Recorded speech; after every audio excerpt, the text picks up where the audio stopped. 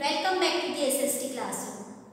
Now my dear children, in the last video we discussed about the lesson 4 national symbol. Am I right? And in that what we have discussed about the national symbol? The national symbol are pride to our nation and also it reminds us about the glorious past. Right?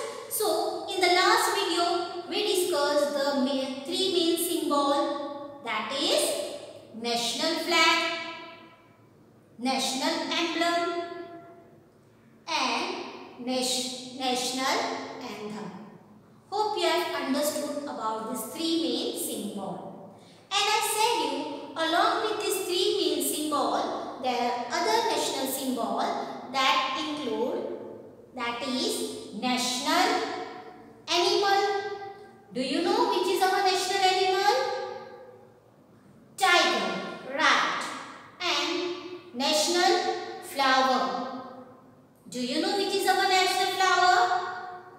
Yes, my dear children, you are right. Lotus. Then the next, national game. Do you know which is our national game?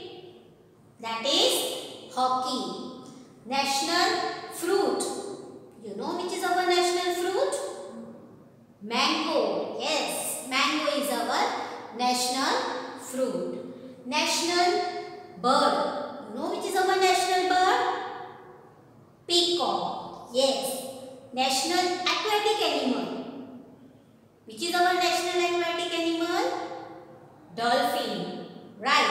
Now my dear children, what you have to do today as in the last video I said that we are going to do an activity. So are you ready for your activity?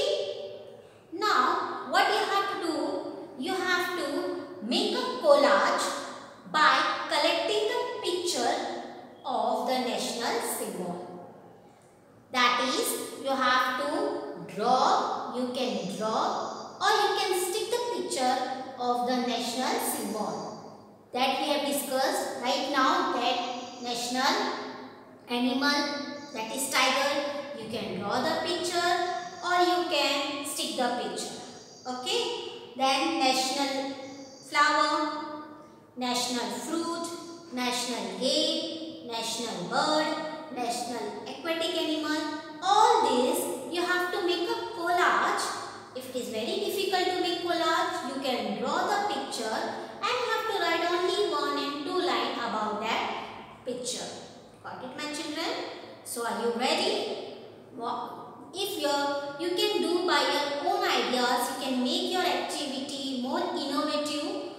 It is not necessary that you have to make a collage. You can do by your own ideas. Okay?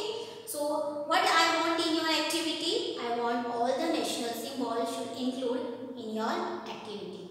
You can draw, you can write, but you have to write one and two line about that picture.